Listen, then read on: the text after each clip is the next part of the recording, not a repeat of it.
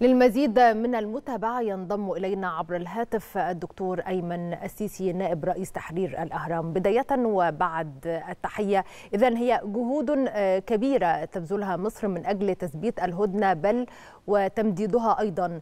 إلى أي مدى نجحت تلك الجهود في تسجيل العقبات وأيضا إتمام الإفراج عن الدفعة الثانية من الأسرى والمحتجزين؟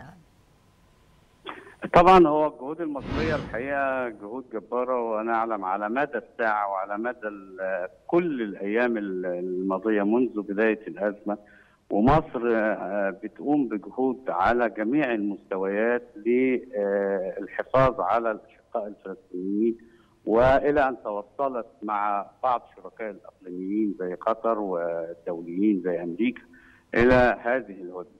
يمكن كان في زي ما قال التقرير والحقيقة التقرير اللي اتعرض دلوقتي تقرير وافي عن الموضوع إنه كان في آه تراجع آه ما آه هيحصل. لكن ضغوط مصر والحقيقة نحيي الدولة المصرية نحيي الرئيس السيسي ونحيي عقل مصر المخابرات العامة المصرية لجهودها الجباره في هذا الصدد.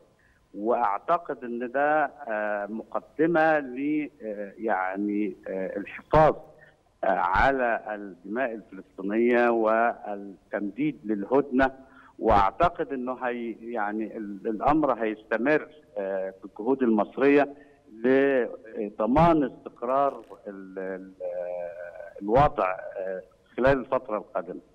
فالحقيقة الجهود كانت جبارة ولولا الضغوط المصرية في تقديري ما كان كان ممكن يتواصل ضرب زي ما أعلن جيش الاحتلال الإسرائيلي آه نعم. لم تنتهي أو لم يتم التنفيذ خلال آه الفترة نعم. دكتور أيمن مصر أيضا بقيادة الرئيس السيسي منذ اليوم الأول للتصعيد الإسرائيلي آه زي ما حضرتك ذكرت تحركت بقوة.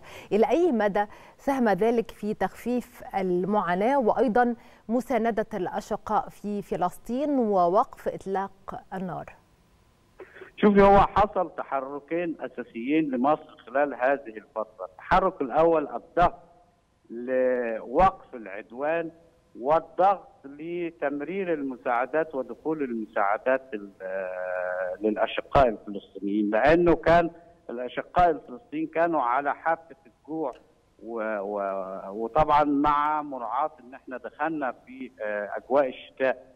فكان كل المساعدات المتوقفة يعني بصراحة كان مهمة جدا إنها تدخل في هذا الوقت سواء ال ال الأدوية أو التدفئة والبطاطين أو الأغذية.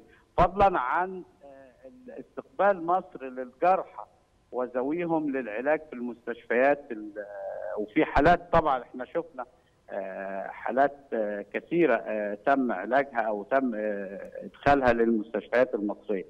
فالجهود المصرية الحقيقة جهود يعني تحمد فتشكر في هذه الآونة خصوصا أن مصر ويعني وده أصبح يعني واضح للعيان أن مصر هي الدولة الوحيدة تقريبا التي عملت بجدية شديدة جدا للحفاظ على الدم الفلسطيني وإيصال المساعدات للأشقاء الفلسطينيين. نعم الدكتور أيمن السيسي نائب رئيس تحرير الأهرام شكرا جزيلا لك.